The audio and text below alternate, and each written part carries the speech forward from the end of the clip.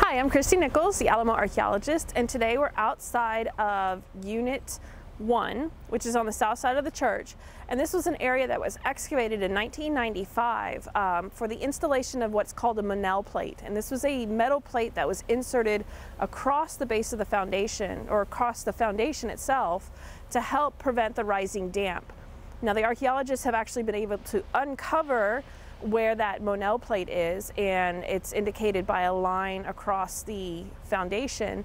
And what I found out is that there was a saw that cut this through the foundation and in 1995 they hammered the steel plate into the wall. So this is an interesting find just to see what uh, measures are being taken to help prevent the rising damp.